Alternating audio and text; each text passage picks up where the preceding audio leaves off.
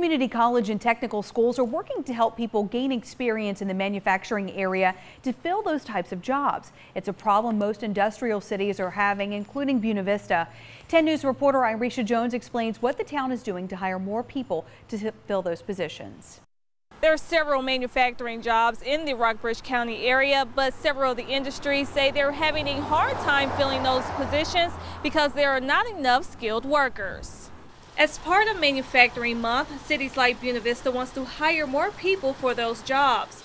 Brian Brown with the Economic Development Office says those jobs are in high demand. We can't fill all the temporary positions we're looking at as well. So we're, we're, we're desperately looking for people who want to work. Earlier this year, Muntz Corporation began hiring 100 new people. Right now, there are still 50 open positions. Brown says other companies like Everbright are also hiring, but the jobs require a person with the right skills and training. You have to have people who understand the needs of being able to read blueprints, do basic math, do the key pieces necessary to understand what their role is. These welders will soon be ready for some of those local and regional manufacturing jobs. They're getting training at Byers Technical Institute, a recent startup.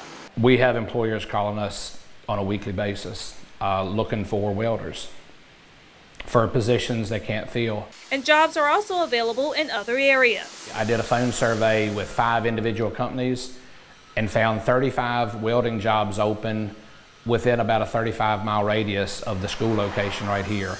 And that's as of jobs that are available as of yesterday. Uh, they're going about an hour radius around trying to find people with this skill set. They're also hoping to get some help from Dabney S. Lancaster Community College with classes starting as early as January.